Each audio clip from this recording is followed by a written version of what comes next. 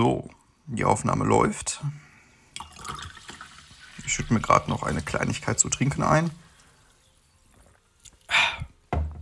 Immer wichtig, wenn man dann anfängt zu sprechen, dass die Stimme, ja jetzt sage ich so, muss mich schon räuspern, dass dann auch alles passt und man sich eigentlich nicht räuspern muss, aber egal. Tat trotzdem gut der Schluck. Nee, also eigentlich hatten wir uns so gedacht, wir können eigentlich diese, diese Ereignisse, die gestern passiert sind, können wir nicht einfach so unkommentiert lassen. Wir gehen mit euch in den Austausch, egal was für ein Thema gerade auf dem Tisch ist, egal was gerade so beim VfL abgeht. Und dann können wir eigentlich nicht sagen, dass wir jetzt das so stehen lassen und nicht was dazu sagen, nicht mit euch in den Austausch gehen. Und das wollen wir in diesem Sinne mit diesem kleinen Video mit dieser Tonspur sozusagen machen. Und deshalb wollen wir jetzt mal sehen, wie sich natürlich alles so entwickelt. Erstmal natürlich so von Anfang an, um auch so ein bisschen die Emotionen so zu sortieren. Es war natürlich von Beginn an eigentlich, die Stimmung war super, die Fans waren gut drauf. Der VfL hat in der ersten Halbzeit einen guten Ball gespielt. Es hat Spaß gemacht zuzusehen, was für gute Offensivaktionen wir gegen Gladbach hatten. Es waren ja wirklich ein paar gute Chancen dabei, wenn man den Freistoß von Stavlidis, wo Bella Kotschap mit dem Kopf dran oder auch viele andere Situationen und wenig, die eigentlich von Gladbach in der ersten Hälfte so im Kopf geblieben sind. Ja, bevor dann die zweite Hälfte kam. Natürlich war es extrem bitter. Wir sind gut aus der Kabine gekommen, hatten auch wieder den Zug zum Spiel gehabt und auch das Momentum eigentlich so auf unsere Seite, bis auf das natürlich die Tore nicht reingegangen sind oder die Tore nicht gefallen sind durch die guten Aktionen. Ja, und dann kommt das 1-0, dann bist du eigentlich gefasst, du fällst nicht irgendwie aus der Fassung und schaffst es auch weiterhin Druck aufzubauen. Dann kommt das 2-0. Ja, und dann kam diese eine Szene, wo ich mir denke, es gab eigentlich da auch gar keinen Grund, sich aufzuregen. Ähm, das war ja die Situation, wo Polter im Strafraum dann ist. Ich weiß es nicht mehr, ob es Ginter oder Benze Baini war, der Polter da so in den Zweikampf reingebracht hatte, aber ich weiß nicht, ich meine, es war Ginter. Schreibt es natürlich auch in die Kommentare, wenn ihr da jetzt nochmal ein besseres Gedächtnis habt, aber ich meine, es war Ginter. Aber ist ja auch egal, er war auf jeden Fall in den Zweikampf. Und dann gab es ja so leicht irgendwie die Andeutung, es könnte vielleicht eine Elfmetersituation gewesen sein. Relativ schnell war aber dann klar, das war viel zu wenig für einen Elfer. Ja, und dann kommt diese Situation, wo du dir denkst, was passiert hier eigentlich gerade? Da wirft jemand den Schiri-Assistenten einen Bierbecher vor den Schädel. Unabhängig davon, dass Bierbecherwürfe sowieso relativ unnötig eigentlich sind, weil sie nichts bringen außer Frust rauslassen. Aber am Ende des Tages, es gab ja noch nicht mal irgendwie große Aufregung oder so. Es war ja eigentlich eine ganz normale Spielsituation, wie in gefühlt 35 anderen Spielen. Und da kommt plötzlich jemand auf die Idee und wirft halt den Schiri-Assistenten ab. Und dann hat man ja auch gar keine andere Wahl, als das so zu machen, wie es am Ende dann noch kam mit dem Spielabbruch. Was willst du denn machen? Wenn man es nicht machen würde, dann würden sich doch alle denken, ja, mit denen kann man es ja tun. Ne?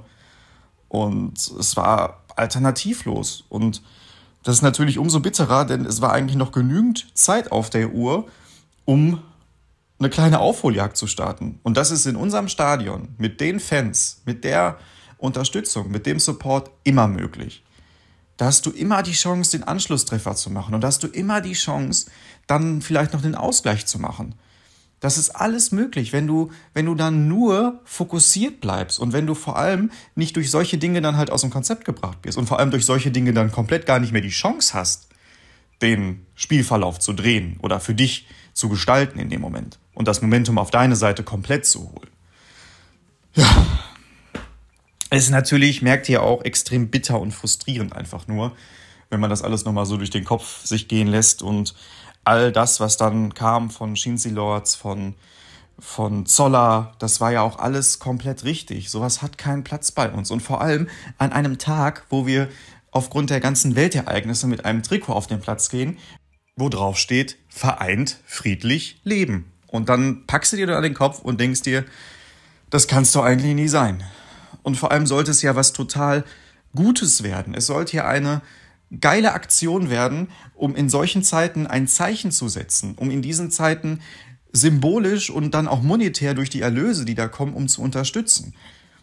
Und jede Aktion in solchen Bereichen ist in der aktuellen Zeit wichtig. Und dann wird das durch so eine äh, Aktion einfach nur zerstört. Ja, und vor allem natürlich auch die Konsequenzen. Es ist ja klar, das Spiel wird für Gladbach gewertet, jetzt am berühmt-berüchtigten grünen Tisch. Und, was man natürlich auch nicht vergessen darf, es wird ja höchstwahrscheinlich auch noch eine Geldstrafe auf uns zukommen. Das darf man natürlich auch nicht vergessen. Der VfL hat in der Pressemitteilung auch schon geschrieben, er behält sich auch Schadensersatzansprüche natürlich vor.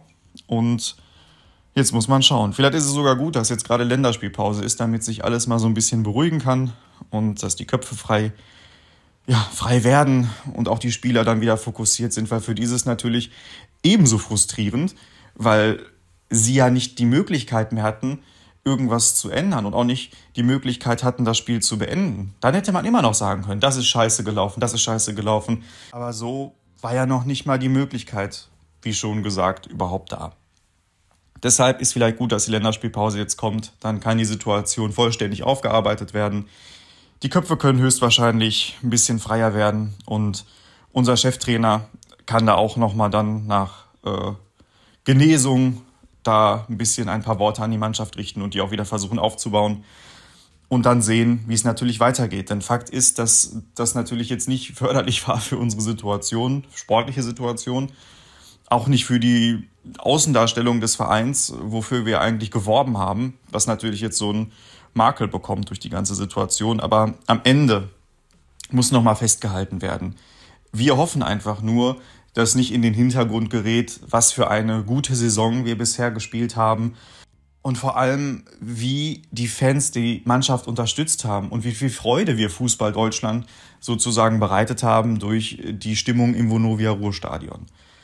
Und das ist, denke ich mal, eine Sache, die darf nicht in den Hintergrund geraten. Und da muss man an jeden appellieren, bitte lasst euch das jetzt nicht durch diese eine Aktion, durch diese eine Person kaputt machen. Das muss man an der Stelle auch ganz klar festhalten.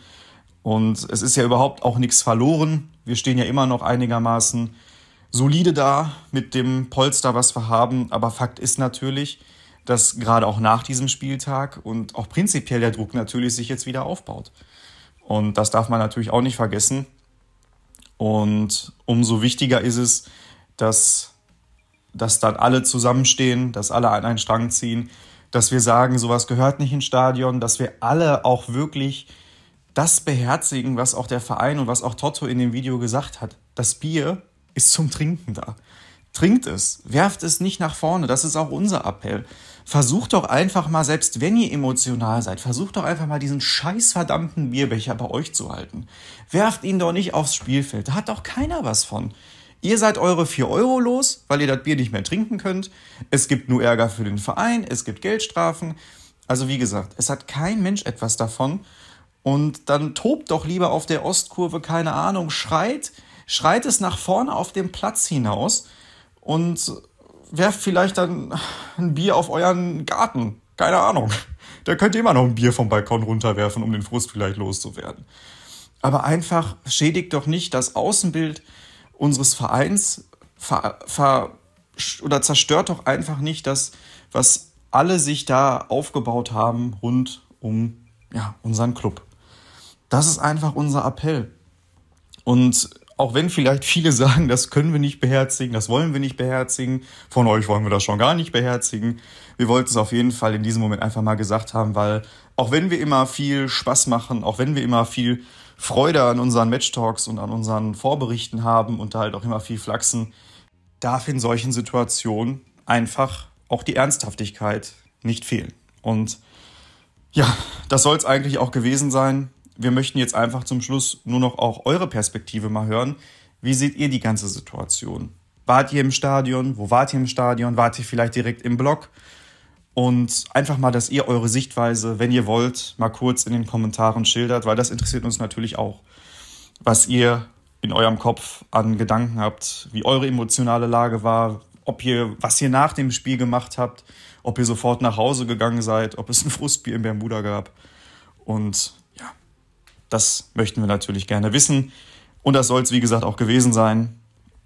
Wir wünschen euch ein schön, schönes Wochenende, einen schönen Samstag, einen schönen Sonntag. Genießt die Sonne und wir hören uns dann, wenn es um die Vorberichterstattung für das Spiel ja, gegen Hoffenheim geht. In diesem Sinne, Glück auf.